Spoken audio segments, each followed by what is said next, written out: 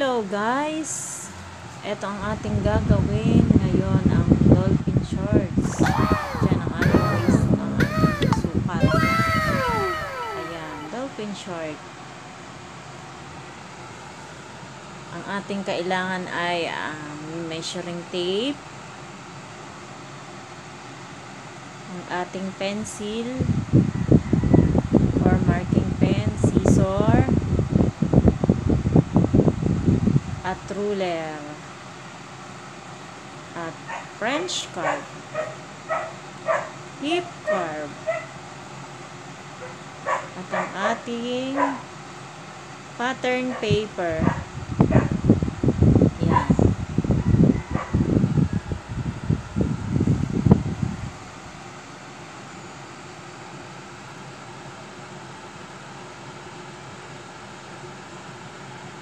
yan sa paggawa natin ito, kailangan ang allowance na 1 inch, 1 inch mula dun sa taas na yun.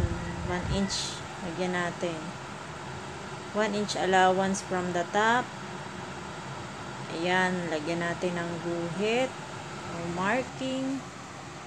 Kasunod, lagyan natin ng guhitan natin. Ayan, guhitan natin siya para dyan tayo magsisimula ng pagsukat. 36 ang waistline ng aking gagawin. Yan yung short na gagawin ko para sa akin. Mula sa waistline pababa, sukat tayo ng 7 inches. Yan, 7 inches din dyan para pantay sila.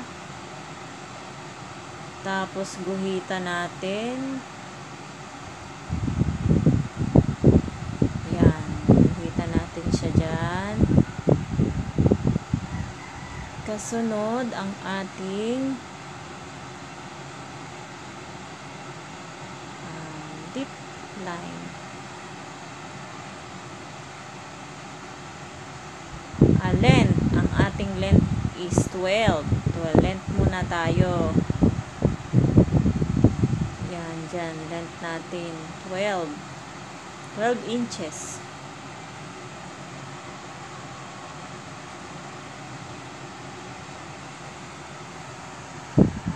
Kasunod, ang ating deep line. Crotch deep.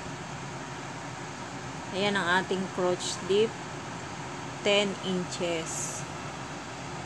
Ang crotch deep ko ay 10 inches. Sinukat ko na siya kanina. Yan. Buhitan natin siya ng crotch line. Yan ang crotch line na tawag natin dyan. Crotch line. Yan. May mga line na siya. Kasunod,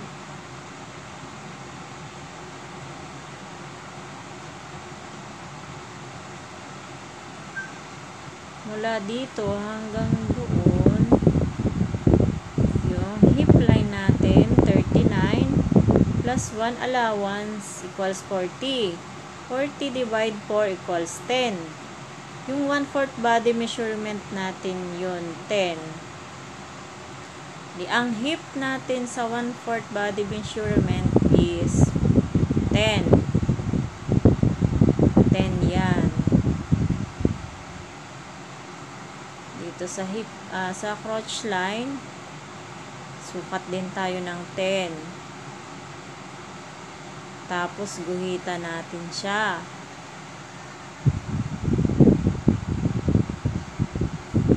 yan guhitan natin para mas malinaw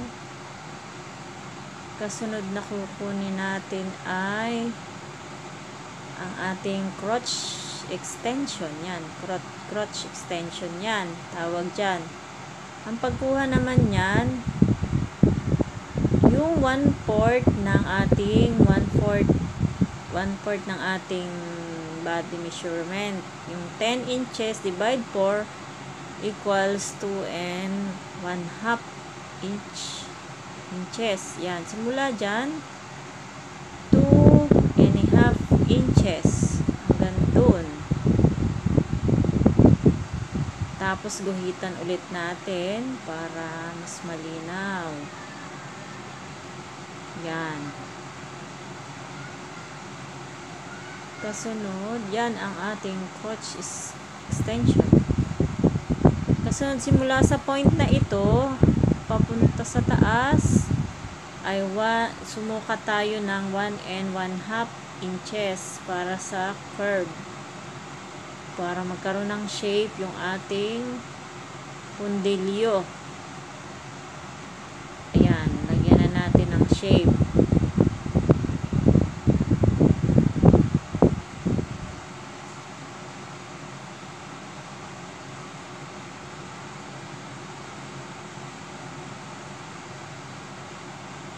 Yan na ang ating front.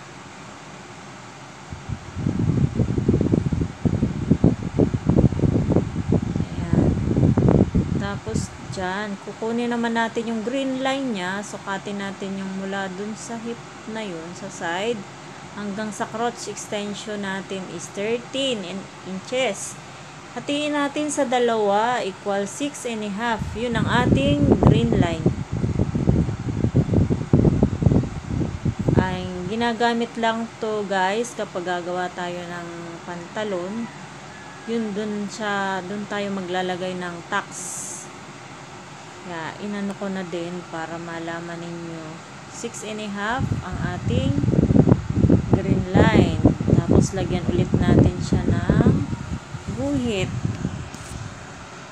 Dyan, dyan naglalagay ng tax pero ito'y garter naman kaya wala na, hindi na tayo maglalagay ng tax. Pero nilagyan ko pa siya ng green line. Natin ibabase yung tax niya eh. Ayan, yun ang ating line. Yung ating tie naman, yung sa laylayan ng ating sahita, ang sukat ko ay 24. 24 inches. Tapos, hahatiin ko siya ng dalawa. 24 divided by 2 equals 12. Yan ang tie line ko. 12. Tapos, lagyan na natin siya ng guhit. Yan. Buo na ang ating front pattern ng ating dolphin short. Yan. At dito naman sa kung gusto nyong magkaroon ng shape ang hips, lagyan natin yan. Yan, ang ating hip curve, hip curve ang ating gagamitin sa paglalagay ng shape ng bewang. Yan, tapos yan, hip curve. Tapos dito naman sa pag ang ano dito para magkaroon ng korte, angat lang tayo ng 1 inch or depende sa inyo pwede rin namang 1 and a half inch para magkaroon siya ng korte, maging dolphin short. Yan, gamitan natin siya ng French curve para mas maganda. Ayan na ang ating front pattern.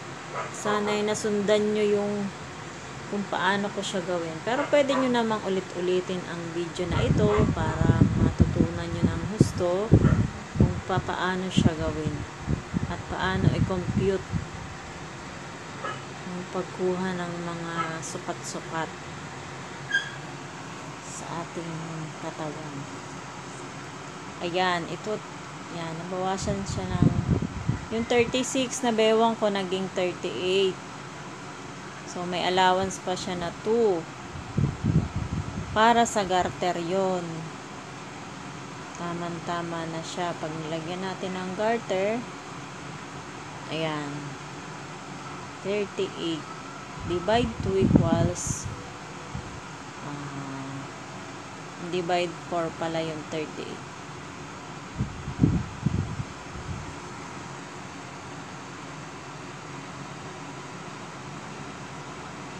Ayan. Buo na ang ating front.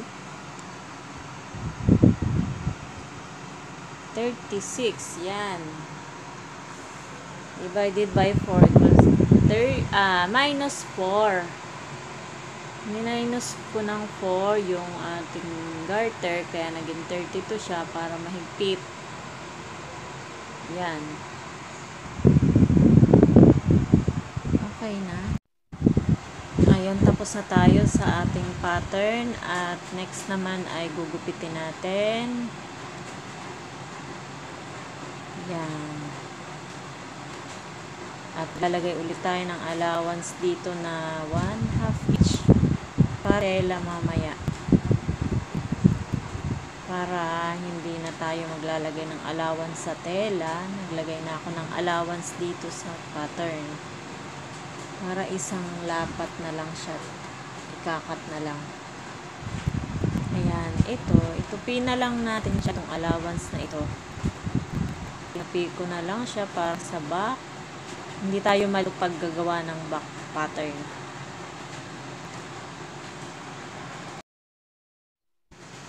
Pattern naman ngayon ng back ang ating gagawin. Yan, ipinatong ko yung front sa kanya pattern. At ito na lang ang ating susundan. Sukat tayo ng 1 inch mula doon at diretso natin yung guhit mula dyan yan 1 inch at guhitan ulit natin para pantay siya tapos i-connect na natin yung guhit doon tapos sugsugin na lang natin yung sa ilalim yung pag-arc niya dyan yan. Tapos dyan sa taas, up tayo ng 1 and a half inch. Yan, 1 and a half inch. Guhitan natin at sugsugin natin ito hanggang dyan sa baba. Ganyan lang kadali ang back. Okay sunod ay gugupitin na natin siya. Ayan. Lagyan ulit natin siya ng allowance pagdating dyan. Ayan. Okay, subsugin na lang natin siya dyan. Kanyang back, ah, sa kanyang front. Gupitin natin hanggang doon sa dulo. Yan, sinagad ko na to sa gupit at mamay sa fabric tayo maglalagay ng allowance. Pero para hindi kayo malito, lagyan nyo na lang din ng allowance.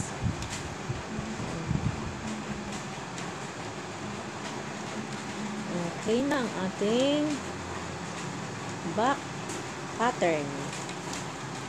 Ito na po ang ating back and front pattern. Yan, ang back. Ayan. Lagyan natin siya ng marking. Dito. Ayan, okay na. Front and back pattern. Guys, ito tayo din. Ngayon naman ay ipapatong natin ang ating pattern sa tela. Parang cut na tayo ng tela. Ipin muna natin siya ng dalawang dalawa o tatlong pin para hindi siya gumalaw pag ginugupit na natin siya. Ayan, dalawang magkataklog na tela yung para pagkat natin dalawa agad siya magkataklog na front. Yan bitin natin. Hinay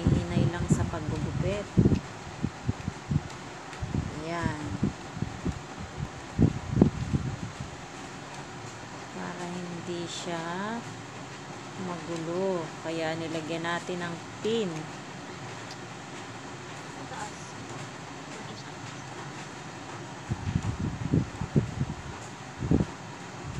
Ayan, guys. Lagyan natin ng allowance. Na pwedeng half inch na lang ang allowance dyan. Ayan. Guhitan natin para sa pagkakat.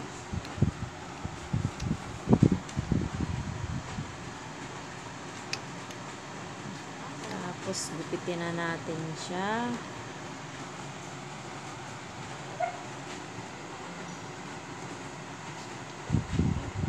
Hindi natin ganda.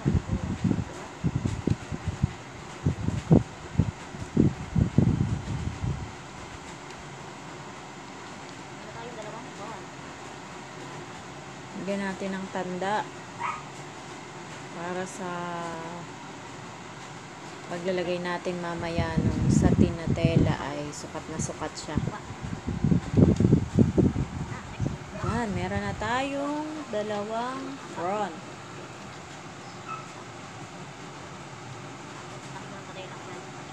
Okay lang yan.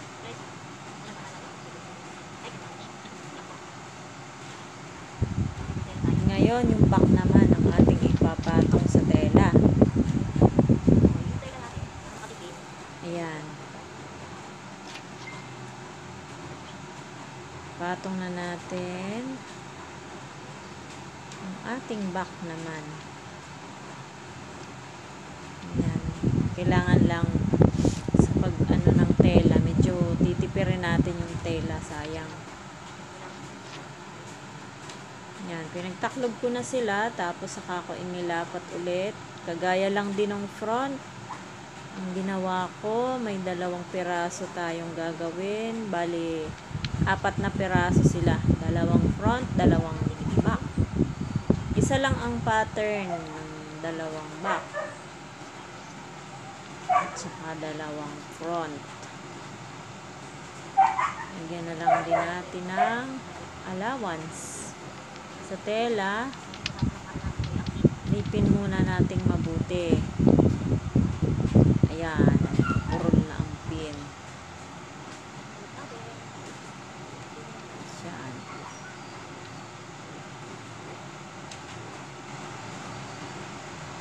And guys,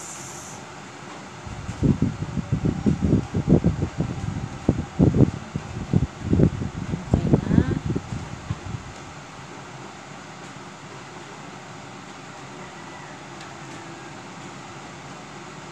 Ah, may nalimutan. yung ating allowance, so isod-isod natin sa baba para magkaroon siya ng allowance para sa garter. Sukat ulit tayo ng half inch. Ayan, sorry naman, nagkakamali din. Tao lang. Yan, pinaulit natin siya. Paulit-ulit.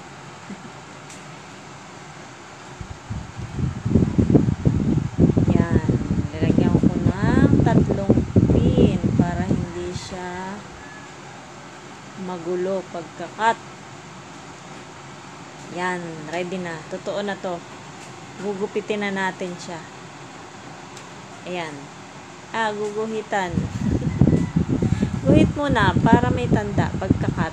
Yan. Mahirap magupit pag walang tanda. Yeah, yan.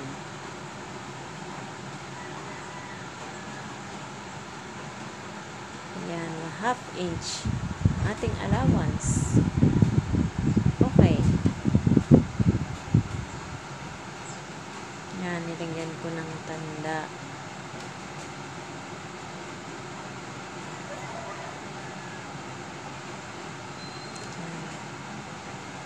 Para pag gugupit mamaya, may guhit na siya, may tanda pa. Gugupitin na natin. Ayan. Ingat sa paggugupit ng tela. Yan. Huwag kayong magsasawang panoorin ang aking video. Hindi naman kayo magsisisi pag napanood nyo ito. May matututunan talaga kayo.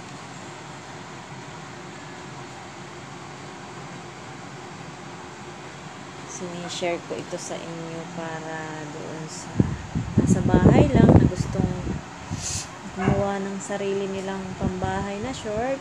Ganito lang yung gagawin natin. Ayan, cut natin na tirahan natin ng allowance. Diyan, buo na ang ating back.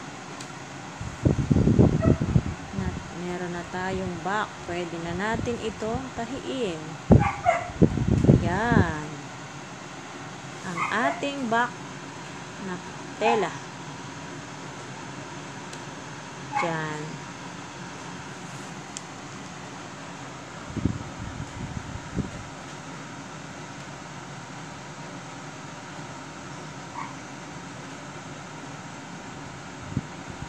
Yan, pantay na pantay na sila. Chinek ko lang kung pantay. Okay naman siya. Eto.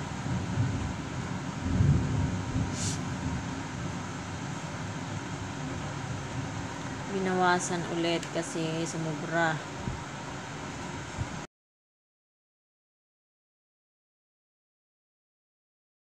Ayan guys, ito pala yung bias tape. Siyang ilalagay natin dun sa panabi ng short para magkaroon siya ng design. Ayan ang ating bias tape. Ito naman guys, yung panglagay natin dun sa garter. Ang lapad niya ay 2 and 1 fourth. Yung pang balot sa garter. Tapos yung length niya 38. Idudugtong natin siya doon sa ginupit nating tela. Yan, ang hip niya ay 38 para sa garter. Yan. Ating guguhitan at gugupitin natin. Ayan guys. Ah, gupitin na natin yung ating panglagay sa garter, sa ilalim ng garter. Yung ating satin fabric.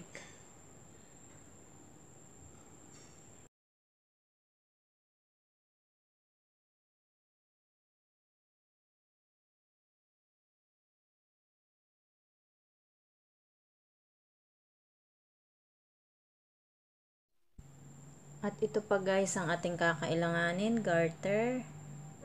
Sinukat ko na siya ng 36. Yung 36, bawasan natin ng 4 inches, magiging 32 length na lang siya. 32 na lang yung length niya kasi pag binanat mo yun, yung garter, lalaki pa siya. Ayan. Ginupit ko na siya para ready na mamaya pagtatahi natin. Ayan guys. 32. Gagawa naman tayo ngayon guys ng panglagay niya sa siding. Sukatin natin siya 11 inches. Yan, siyang susukat natin dun sa sa tinatela. Sukat din tayo ng 11 inch. Plus ha, uh, allowance na half inch magiging 11 and a half siya. Yan, simula dito hanggang pababa 11 and a half. Ayan, 11 and a half inch. Para may allowance na 1 half sa pagtatahi.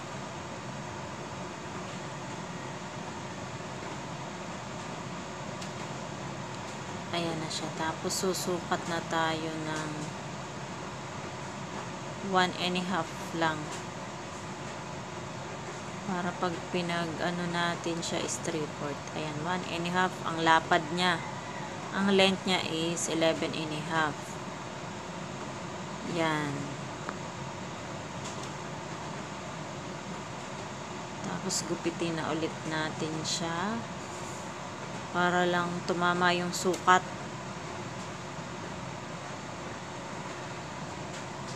Mapurol lang ating gunting. Kailangan na naman ng hasa. Yan.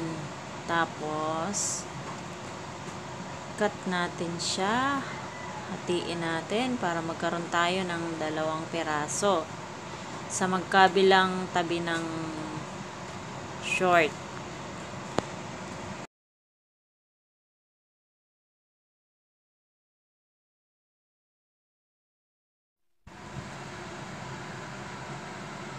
Ayan, magsisimula na tayo magtahi, guys. Ito yung front. Siyang uunahin natin. Ito yung may harapan.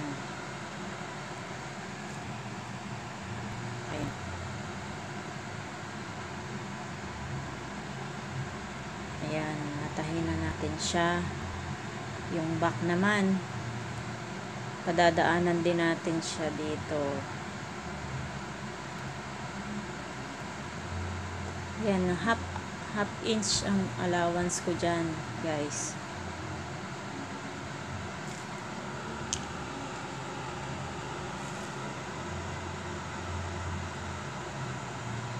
Yan, kailangan natin taga para makabuo tayo ng short.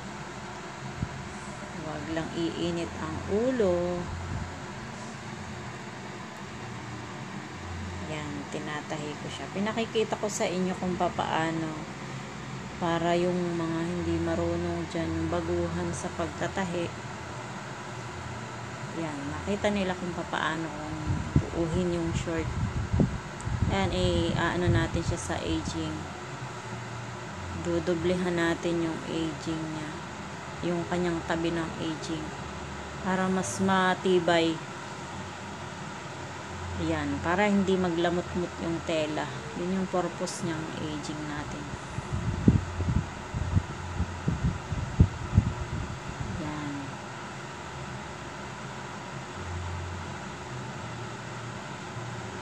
Cut natin sobra-sobra para yung magandang tingnan.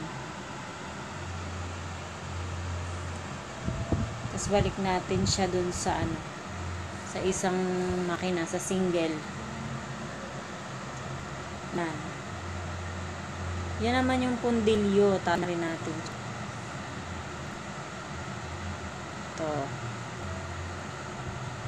Half inch, half inch din guys yung aking ano, allowance dyan. Kita nyo naman siguro kanina nung sinusukat natin. Yung ginagawa natin yung pattern, half inch lang. Ayun.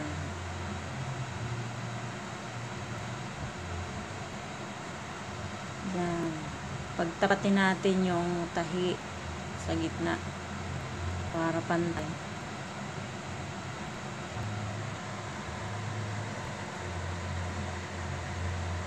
Ayan. Tingnan nyo na lang mabuti. Sundan nyo na lang. Habang nagtatahi kayo, mas maiging ipiniplay nyo tong video habang tinatahi nyo. Subaybayan nyo yung ginagawa ko, gayahin nyo na lang. Yan yung pundilyo niya. Yan, nalalaglag pa ang ilaw. Yan, kung gusto nyo mas matibay, padaanan ulit ng tahi. Mas maganda yung sariling gawa kasi mas matibay. O, pwede mong padaanan ulit yung kanyang ano, tahi. Hindi agad-agad masisira. Bili natin sa palengke, madaling masira yun. Yung mga pinagtahian niya, mabilis lang siyang masira. Tapos pagka sira na, di bibili na ulit tayo. Kaya, papatahi natin ulit.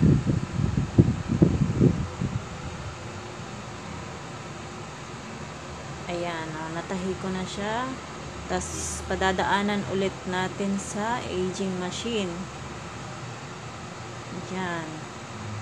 Para maganda ang kanyang tahi. Mas magandang may aging. Kasunod, dalhin ulit natin siya sa single na makina. Ang next naman natin gagawin ay yung siding. Ah, hindi. Yung ano, yung bias tape natin. Siding. Yung bias tape natin, ayan. In, binalot ko lang siya dun sa siding niya. Sa panabi. Yan, ganyan ang paglalagay ng siding. Yan, panoorin nyo lang siya para matutunan nyo. Sa gitna nyo ilalagay yung ano, yung bias tape, yun ay nakatupi na ng kanya pag bibili kayo. Tapos iikot nyo na lang siya dun sa panabi ng short. Yan, sa siding na yan, hanggang dun sa laylayan. Diretso yan. Yan, mamaya makikita nyo kung paano natin i-connect sa ano, yung front at back. Yan, ganyan lang. Isangat nyo siya dun sa gitna, isagad nyo dun sa ano, sa dulo. Ayan, next ito namang ating panglagay sa side na ano, sa tin yung tela na yan ang ginamit ko, wala kasing iba dito sa bahay. Yan lang yung mga available dito. Ginamit ko. Ayan. Tahiin muna natin siya. Ang mga 1-4 ang allowance sa tabi. Kailangan nakabukas yung isang side. Kasi babalik ta rin natin yan mamaya. Ayan. Nahit ko siya. Yung, yung kabilang side sarado. Yung kabila bukas. Tapos, aanuhin natin siya. Babalik ta rin natin para maganda na ang lapat pag nilagay mo dun sa side. Yan. Pinaliktad ko na siya. Para lang nagtutuhog ng ano, bituka ng manok. Ayan. Ilalagay na natin doon sa panabi. Pag binaliktad nyo siya, mas magandang tahian nyo na para hindi siya mag, ano, hindi kayo mawala doon sa pagkakatupi niya. Padaanan nyo siya ng tahi. Tsaka nyo ilagay, saka nyo tahian dyan sa tabi, oh. Yan, sukat nyo kung hanggang dun sa ano, pag arc ng tela hanggang dun lang siya. Tapos tanggalin natin sa kabila naman. Pag connect na natin yung parehas side ng front at back. Yan. I-reverse natin para mas matibay. Yan, diretso kailangan ng patience sa pagtatahi. Ayan. Tapos lagyan siya nat lagyan natin siya ng lock sa ano para matibay. Ayan, sa side. Sa laylayan niya. Lagyan natin ng lock. Ayan. I-reverse reverse lang natin yung ano. Ayan. Oh, yun. Eh, tinahi ko na yung side. Ito naman yung sa waistline niya. Ayan, yan yung sinukat natin kanina na 38.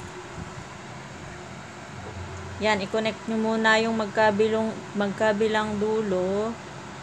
Tapos, yan, ilagay nyo lang sa gitna. Tandaan nyo.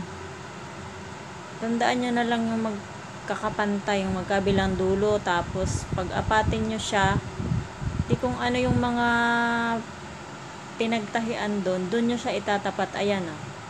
Kinupi ko siya, nilag, kinat ko siya para merong tanda. Yan, siyang ilalagay nyo doon sa tabi. Apat lang naman yan na ano, yung pinagtahian. Doon nyo sila itatapat. Tapos, tatahiin nyo siya ng half half inch. Yan yung allowance ko kanina na half.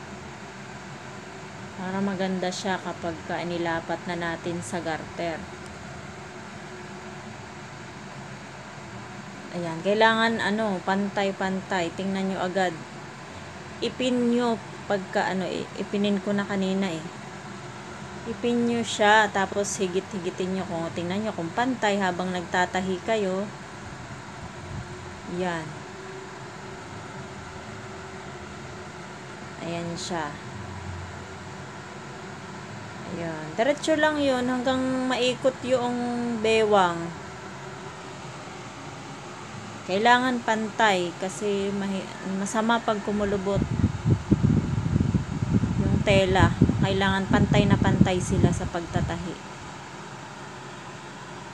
Kung hindi nyo kayang anuhin, pantayin, lagyan nyo na rin ng pin dun sa gitna bago.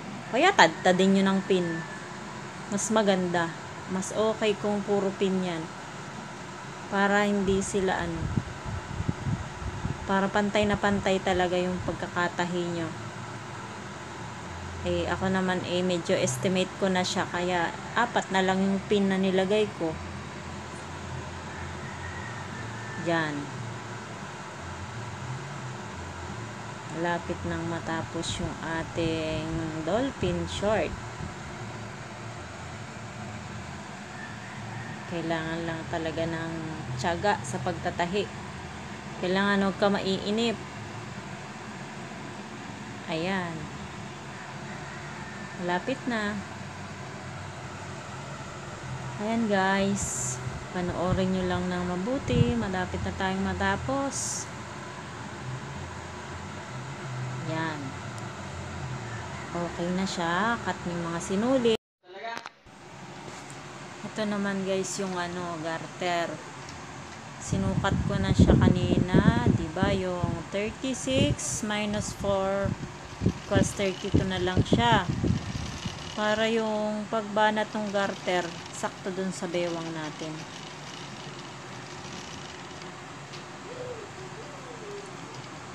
Ayan.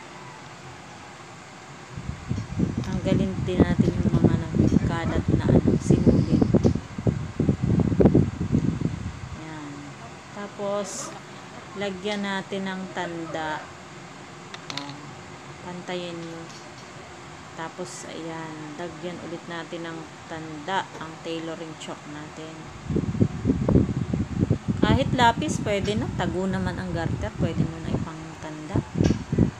Yan. Dun, dun sa, four, sa apat na side din yan, pagtatapat-tapatin natin, kagaya nung ginawa natin sa na tela.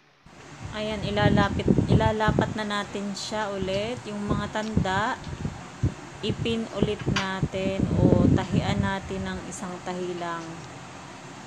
Isang daan lang ng tahi para matatanggal din natin mamaya yung sinulid. Ayan, tatahian ko siya para paghigit hindi matanggal. Mahirap kasi mag-garter eh. Kailangan higitin mo siyang maigi bago mo siya tahiin. Bago mo padaanan ng karayo. Yan, ini ano po. Yan, tatahian ulit natin. Tandaan nyo na lang kung paano ko ibalot yung garter ganito. Ayan. Tahi ulit. Kaya pwedeng i-reverse nyo na rin para medyo matibay. Tatastasin naman yun mamaya eh. Ayan.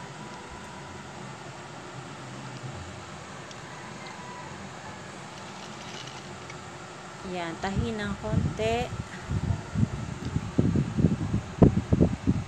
Tapos nalagyan na natin lahat. Ayan, yan naman. Sa pagtatahi ng garter, guys, kailangan higit higit na mabuti yan. Kailangan pantay yung paghigit mo. Yan, ilagyan ko siya ng higit muna bago lagyan ng pin.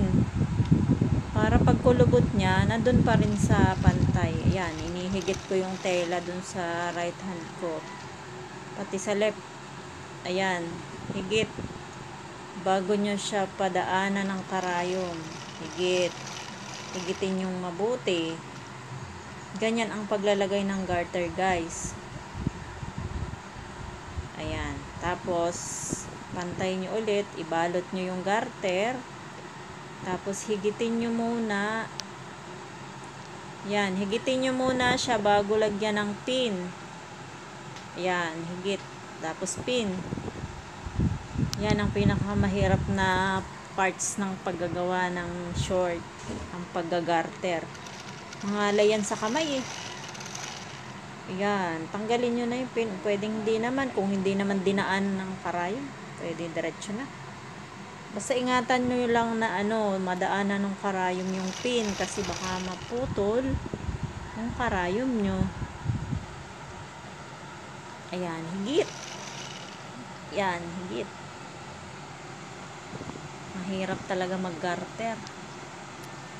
Ganun lang din, paulit-ulit lang din yung ibabalot mo yung garter tapos lagyan mo ulit ng pin kailangan sakto yung higit nyo ng tela kasama yung garter timing nyo yan itatiming nyo para hindi maputulan ng karayon yan kailangan higit na higit siya kaya nyo rin yan Basta't may hilig kayo sa pagtatahi, madali lang yan. Hilig ko kasi yan, kaya yan. Pinag-aralan kong kung paano. Yan, konti na lang. At tayo ay makakaraos na ng ating pagtatahi. Medyo mahaba yung ano ko dyan sukat. Ayan. Higit ulit. Yun. Okay na. Pag natahin nyo na siya dyan sa kabilang side na yan, doon naman sa right side, padaanan nyo ng isa. Isa lang lang yung pinadaan ko sa kanyang tahi ulit. Isa na lang. Ayan. Pwede na rin naman siya higitin nyo ulit guys yung pagtatahi nyo ng garter higit yan kita nyo hinihigit ko yung ano para magpantay ganda kasing tingnan yan tapos na okay tapos na tayo sa ating sa aking pinaghirapang tahiin. Yan. Tapos na. Huwag kayong magsasawa guys sa video ko ha. Sana subscribe nyo din. Eto na guys, ang aking tinahing dolphin short. Yan. Pwede ko na siyang isuot.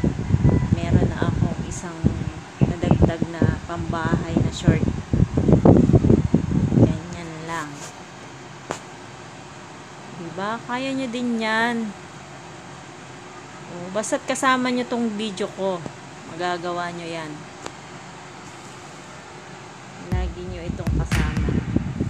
Thank you guys. And till my